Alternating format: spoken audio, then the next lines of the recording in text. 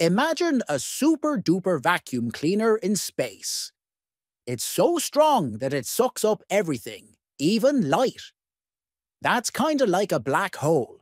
It's a place in space where gravity is so strong that nothing can escape. Think of it like a really, really deep hole.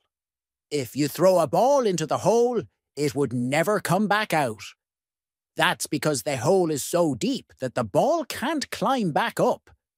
A black hole is like that, but instead of a ball, it's sucking up stars, planets, and even light. Black holes are made when a really big star dies, when the star runs out of fuel, it explodes in a big bright flash called a supernova.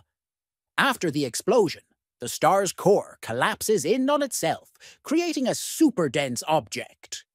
This object is so dense that it has a very strong gravitational pull. Because black holes are so dark, we can't see them directly. But we can see the effects they have on other objects around them. For example, if a star passes too close to a black hole, the black hole's gravity can pull the star apart. We can also see the effects of black holes on the gas and dust that surrounds them. Black holes are really cool and mysterious things.